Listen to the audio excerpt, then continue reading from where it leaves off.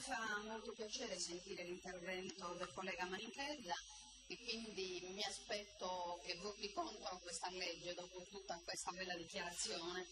Io non potrò mai condividere una legge che di fatto è una legge che mortifica la democrazia eh, e come tra l'altro se la democrazia eh, in questo momento di grande crisi e di, e di sofferenza popolare facesse paura eh, questa classe politica sarda appare, appare impaurita, così impaurita da arrivare a proporre delle leggi così in modo goffo, delle leggi assolutamente repressive. Ma a questa provocazione io credo che i sardi sapranno, sapranno rispondere, sapranno rispondere in modo pacifico e democratico, così come è sempre avvenuto nella storia. Mi ha colpito anche la dichiarazione invece del consigliere dell'MPA, e cioè che mi è parso di capire se chiede, la riduzione numerica al governo italiano, facciamola anche noi. Se non sbaglio, mi è parso di aver capito, non è questo. Allora, allora correggo il tiro. Questo mi è sembrato, non peraltro perché io il coraggio di stare dietro al governo italiano sinceramente non ce l'ho, non è mai stata una mia vocazione. Comunque vorrei riportare l'attenzione dell'Aula sul fatto che a tutt'oggi non risulta, in, cioè la costituzione delle commissioni viene rinviata per l'ennesima volta. È come se fra i consiglieri del centrodestra non ci fossero persone autorevoli per coprire le presidenze. Quindi il problema è che in tempi di moralizzazione e di riduzione degli sprechi della politica dobbiamo prendere atto che le presidenze sono legate a spartizioni e alle relative indennità. Per cui io vorrei mh, rinnovare l'invito alla Presidente Lombardo, se mi ascolta un attimino, a procedere ai tagli delle indennità di carica. Io credo che questo, questa misura risolverebbe sicuramente i problemi e consentirebbe sicuramente la ripresa dei lavori delle commissioni. Quindi a tutt'oggi la Commissione Autonomia, altra nota, non ha risposto alla mia richiesta sull'esclusione della mia proposta di legge sull'abbattimento dei costi della politica. Per cui io vorrei eh, avere una risposta scritta, continuo a insistere e continuerò. Eh, collega, collega Pitalis, collega Pitalis, eh, quindi niente, mm, sarà registrato, prendato che dovrà darmi una risposta scritta. Quindi la classe politica sarda continua a perpetuare la sua storica sudditanza e sta permettendo che in Sardegna passi ciò che i padroni del vapore, quelli della globalizzazione mondiale, vogliono che avvenga, e cioè uscire dalla crisi limitando la democrazia e facendo pagare la crisi agli strati sociali e alle economie più deboli e non di certo alle banche e alle multinazionali. La gestione della crisi economica mondiale, secondo gli stessi analisti internazionali, non può prescindere da una diminuzione sostanziale dei livelli di democrazia all'interno dei singoli paesi. Questo è il diktat che il governo della finanza mondiale vuole imporre in Europa a tutti gli stati sull'orlo del fallimento. È un fallimento così generato dalle stesse logiche della globalizzazione, come la delocalizzazione delle imprese, quindi qui in Sardegna poi abbiamo una lunga storia, la rapina delle risorse economiche e ambientali, la distruzione dei territori e delle loro economie. E sì, c'è una profonda, non dico disattenzione, potrebbero uscire oppure esco sola con lei Presidente, parlo con lei. Verrà, verrà. Prego i colleghi Onorevole Penamara. Onorevole Penamara. Grazie. Quindi nonché l'uso scellerato del debito pubblico dei singoli Stati all'interno delle turbulenze e delle speculazioni finanziarie mondiali. Quindi la Sardegna, colonia interna italiana e non solo italiana, oggi più che mai è, è stata al centro di queste dinamiche. Cosa faccio, Presidente? Ne parlo domani, mi rinvii l'intervento a domani, la prego. No, non le un tempo. Lei è iscritta oggi, per cortesia se può continuare, prego i colleghi di avere rispetto.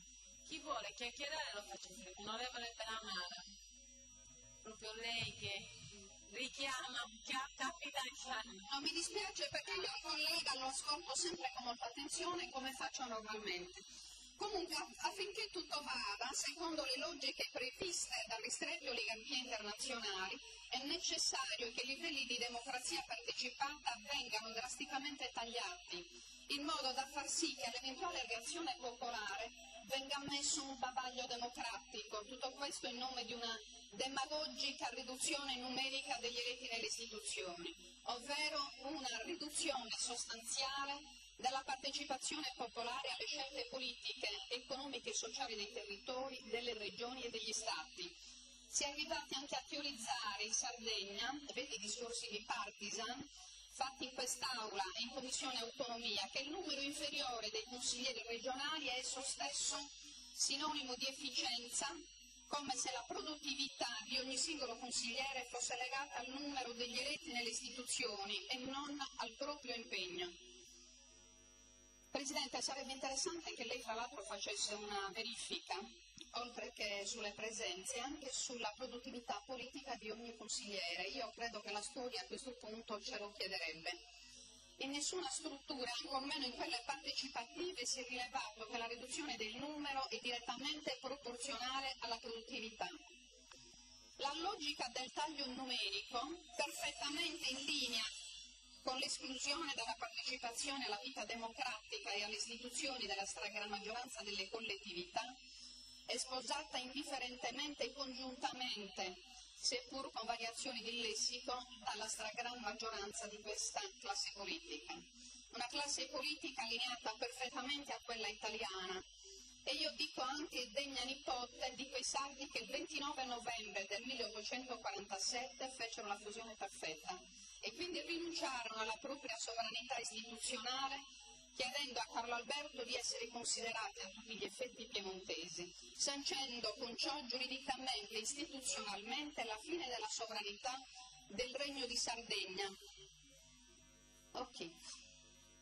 Anche oggi si sancisce l'esclusione violenta ma legalizzata delle minoranze politiche, che stranamente sono da sempre una peculiarità della storia e della cultura politica del popolo sardo. Non mi, mi stupirebbe che stando così le cose, questa stessa Aula, sotto ordine delle segreterie dei partiti italiani, arrivasse essa stessa, per non essere costretta, ad abrogare lo statuto speciale e quindi la stessa autonomia regionale. Dico, scusami, mi disturbi molto. E se vi fate tre ore, era molto più facile riprendere che prendere i problemi, dai, io non lo faccio.